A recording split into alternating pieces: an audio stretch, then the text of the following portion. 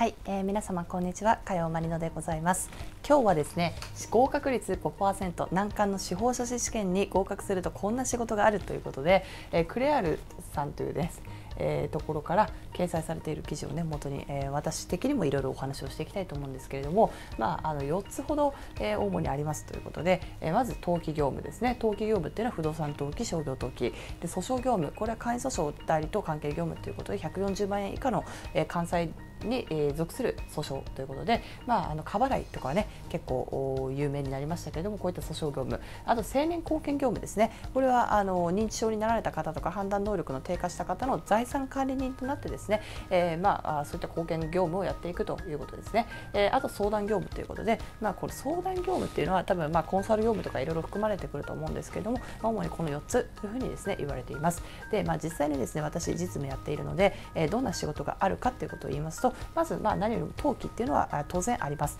えー、法人登記、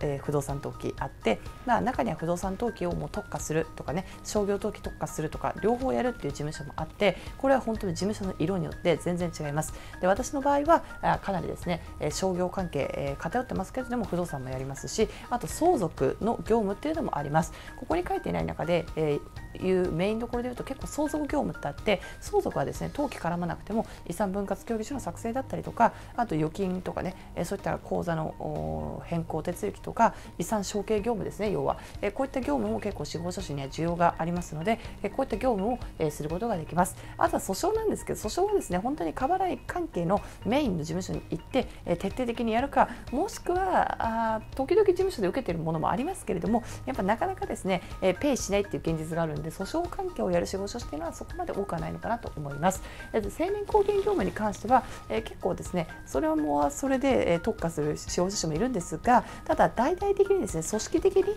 成年貢献業務を、えー、やっていくっていう事務所はそこまで少ないので、まあ、独立されて成年貢献業務を自分はやっていきたいということであればあの自分自身、まあ、個人事業として一人事務所で結構受けるっていう方が多いのかなというイメージはあります。であと,、えーとですね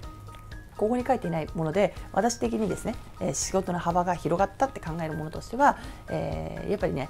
記事の監修とかセミナーとかこういった機会って非常に多いなと思っていてやっぱ司法書士というだけであの相当ですね専門性高い、えー、仕事でありますからあ何かですね例えばあのクレジットカードローンのなんとかの記事の監修してくださいとか相続関係のセミナーやってくださいっていうこういう依頼はものすごい多いんですね、えー、なのでこういったあの本質的な仕事ではないかもしれないんですけれども司法書士試験に合格するとこんな仕事があったっていう中の一つとしてはやっぱセミナーとかだったりとか記事の監修なんかですね法律監修ですよね、えー、そういった、えー、依頼はすごく多かったなと思います。あとは今は、えー、私があの挑戦している新たな、えー、領域としてはコンサルティング分野ですね。これはやっぱりですねあの司法書士であったりとか事業のですね、えー、価値単価を高めるために、えー、絶対重要な領域だと思っていて、えー、とにかくコンサルティング業務、えーなんていうんですかね具体的には、えー、やっぱりですね契約段階から携わるとか組織再編ももっとですねボードメンバーとして携わるように努力すること